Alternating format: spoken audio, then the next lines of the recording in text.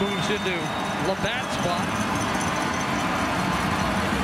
And Collaros looking deep, wants Devon Bailey, and he's got it. Well, he said he was ready for a breakout game. Rob Bang tweeted today that Bailey was ready for a breakout game, and that's an enormous catch early in this third quarter. And uses every inch, Chris, of his 6'5 stature on this one because Zach Collaros here throws in the double coverage.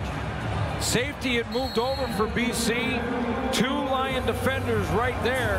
And Devon Bailey somehow comes up with it. We've seen some great catches tonight. Thompson and Rose trying to strip him of the football, but